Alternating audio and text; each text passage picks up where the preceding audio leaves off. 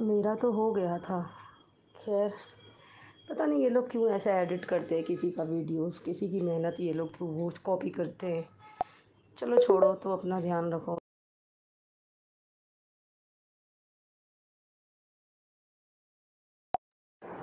उस वीडियो में ना, जो उसने कॉपी की है, उसमें जो ड्रेस पहना है आपने तो तुम्हारे रिसेंट कोई भी ब्लॉग वगैरह, किसी भी चीज़ में ना तुमने जो वो ड्रेस पहना होगा ना, उस वीडियो को करना, उसका लिंक कॉपी करना।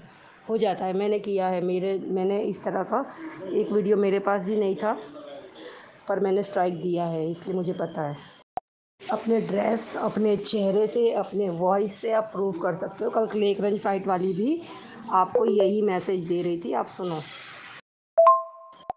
अपने ड्रेस अपने चेहरे से, अपने वॉइस से आप प्रूव कर सकते हो। कल क्लेक रंज फाइट वाली भी आपको यही मैसेज दे रही थी आप सुनो।